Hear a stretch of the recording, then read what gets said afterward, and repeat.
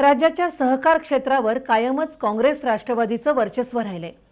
सहकारातून सत्ता आणि सत्तेतून सहकार असा प्रयोग करत दोन्ही काँग्रेसनी सहकार क्षेत्रावरील आपली पकड आजही मजबूत ठेवली आहे. पण गेली दोन वर्ष सत्तेत असलेल्या शिवसेनेनं सुद्धा आता सहकार क्षेत्रात प्रवेश करायचं ठरवलंय. याच उद्देशानं राज्यातील सहकारी संस्थांच्या निवडणुकीत शिवसेना स्वबळ आजमावणार आहे.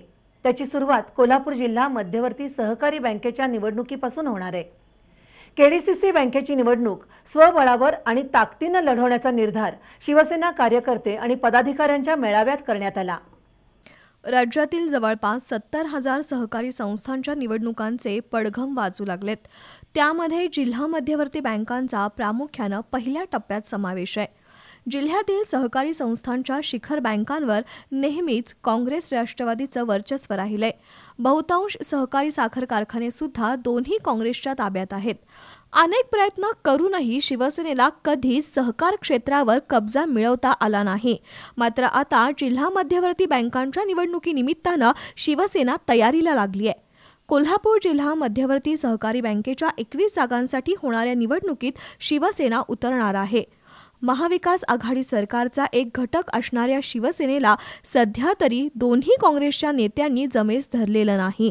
या पार्श्वभूमीवर आज सेनेची दिशा ठरवण्यासाठी कोल्हापुरातील शासकीय विश्रामधाम इथं शिवसहकार या नव्यानं स्थापन झालेल्या सेलची बैठक पार पडली. त्यामध्ये कोल्हापूर जिल्हा मध्यवर्ती सहकारी बँकेची निवडणूक शिवसेनेच्या वतीनं स्वबळावर आणि पूर्ण ताकदीनं लढवण्याचा निर्धार व्यक्त करण्यात आला. जिल्हा बँकेसाठी सबळ आणि सक्षम उमेदवार सगळे आमच्या पक्षाकडे आहेत. आज वरून पक्षाच्या आदेशानुसार ही बैठक झालेली संपन्न आहे. या बैठकीचा तात्पर्य निष्कर्ष महत्त्वाचा एवढाच आहे की सगळे उमेदवार सगळे जिल्हा प्रमुखांच्या अंडर स्वतःचे उमेदवारी अर्ज दाखल करतील आणि आमचा शिवसेना पक्ष ह्या येत्या कोल्हापूर डी सी बँकेमध्ये स्वबळावरती लढतो आहे एवढं मी आपणास सांगतो त्यांनी जमेत धरलं तर आमचे पक्षप्रमुख उद्धवसाहेब जे आम्हाला आदेश करतील तो आदेश आमच्यासाठी फायनल राहील. तोपर्यंत आमचा पक्ष हा पॅनल घेऊन शंभर टक्के लढणार. आमचे पक्षप्रमुख आदरणीय उद्धवसाहेब ठाकरे साहेबांनीच आम्हाला सांगितलं की सहकारामध्ये आपल्याला ताकद वाढवायची आहे. त्यांच्या आदेशानुसार आम्ही हे सगळं काम करीत आहोत. जर यांनी आम्हाला तुम्ही म्हणता तसं महाविकास आघाडी सरकार जमेस धरलं तर आनंद आहे. नाही धरलं तर आमचे मार्ग आम्हाला मोकळे आहेत गोकुळच्या संचालक मंडळावर स्वीकृत संचालक म्हणून शिवसेनेचे जिल्हाप्रमुख मुरलीधर जाधव यांच्या नावाची मुख्यमंत्र्यांनी घोषणा केली.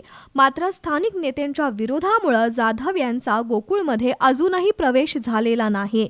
या अपमानाचा वचपा जिल्हा बँकेच्या निवडणुकीत काढावा अशी मागणीही काही कार्यकर्त्यांनी आक्रमकपणे केली. जिल्हा बँकेच्या निवडणुकीच्या निमित्तानं सहकारातील शिवसेनेची ताकद दाखवण्यात येईल असं प्रदीप खोपडे यांनी नमूद केलं. यावेळी जिल्हाप्रमुख संजय पवार विजय देवणे मुरलीधर जाधव यांच्यासह पदाधिकारी कार्यकर्ते उपस्थित होते.